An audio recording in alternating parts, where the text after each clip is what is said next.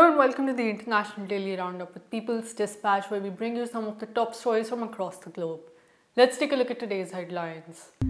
Argentine youth Facundo Castro's body identified a month after he disappeared. Chilean senators present bill to allow COVID 19 patients to vote in plebiscite. South Korean doctors end strike after deal with government. Venezuela invites the UN and European Union members to observe December elections. South African health workers protest over poor working conditions. On Wednesday, four months after he disappeared, it was confirmed that a body found on August 16 was that of Facundo Astudillo Castro. 22 year old Castro had left his hometown of Pedro Luro on April 30th to travel to Bahia Blanca in the south of the Buenos Aires province of Argentina. Following the discovery, hundreds of protesters came out in the streets of the capital demanding justice for Castro and against forced disappearances in the country. Since his disappearance, it was revealed that the provincial police had detained him even as police officials made contradictory declarations about what had happened. Meanwhile, some of his belongings were found in the police station in a town between Pedro Luro and Bahia Blanca. Facundo's mother has already met with the Argentine president Alberto Fernandez and also with the governor of the Buenos Aires province, Axel Kicillof.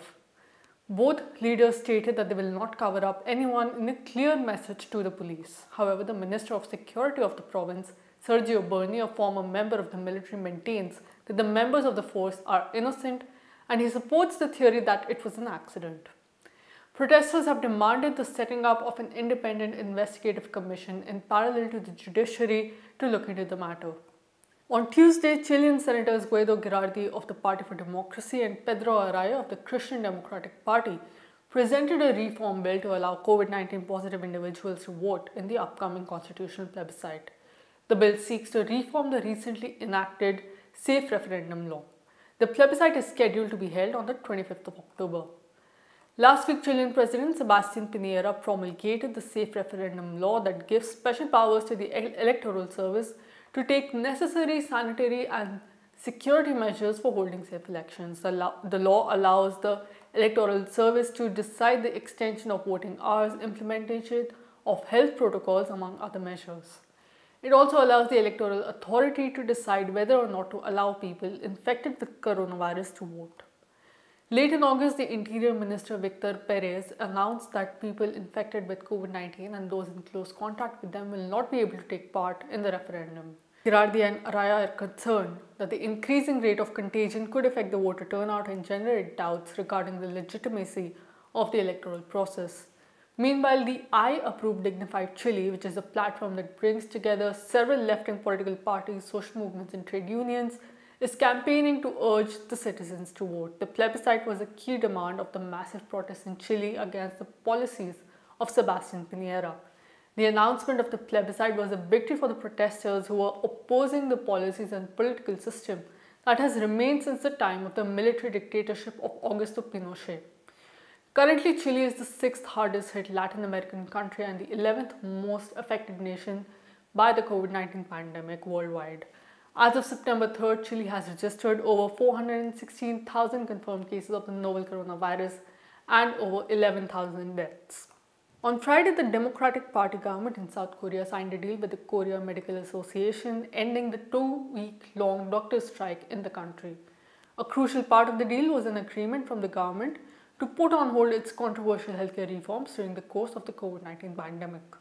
Thousands of doctors, medical interns, and trainees and medical students in South Korea have been on strike since the 23rd of August, protesting against the Democratic Party's healthcare reform plan introduced earlier this year.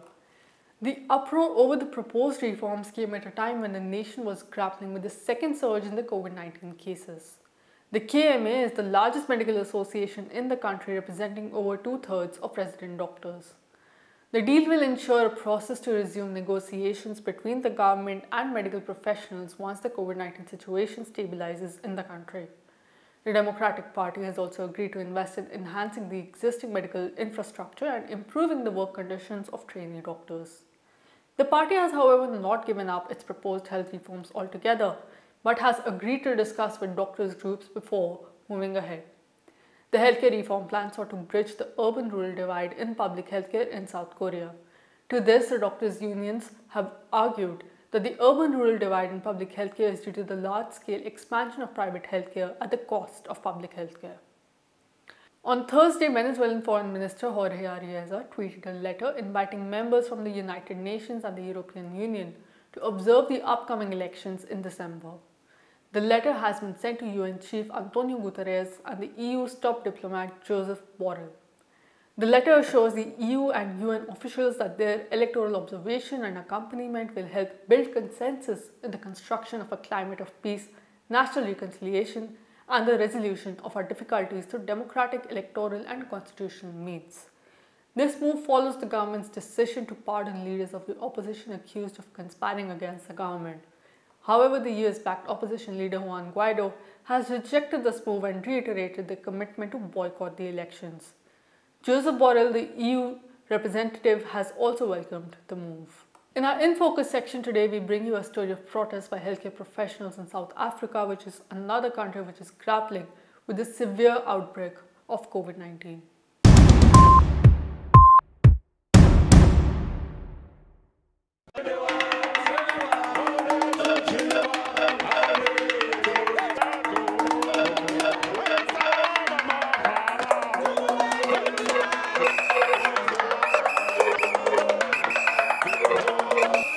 We are not satisfied about our salaries, our vacation leaves, and also the money that for the COVID-19, still we are not satisfied about it.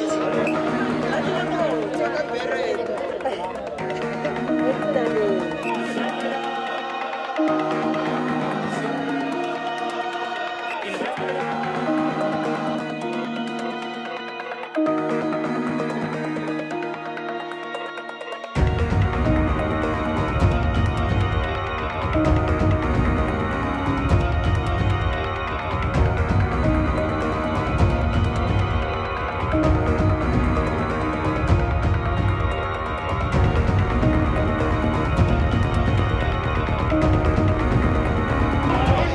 should be no blackmail because of, of COVID-19 to the workers to now say to society we have no money to fight COVID-19 therefore we can't pay workers what is due to them when they are actually increasing their working hours on a daily basis.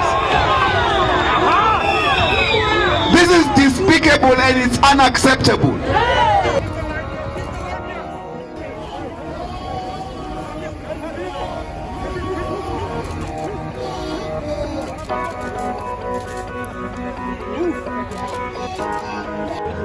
The battles that we are still going to fight as NEHAWU and many other COSATU affiliates are the battles that we must be prepared to win at all costs.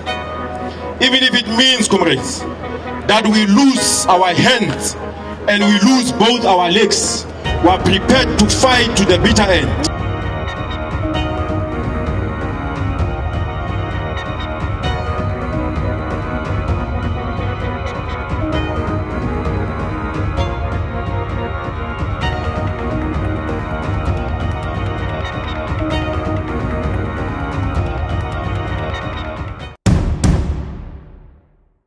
And this is all we have for this episode of the International Daily Roundup. For more such stories and videos, visit our website peoplesdispatch.org, subscribe to our YouTube channel, and follow us on Facebook, Twitter, and Instagram. Thank you for watching.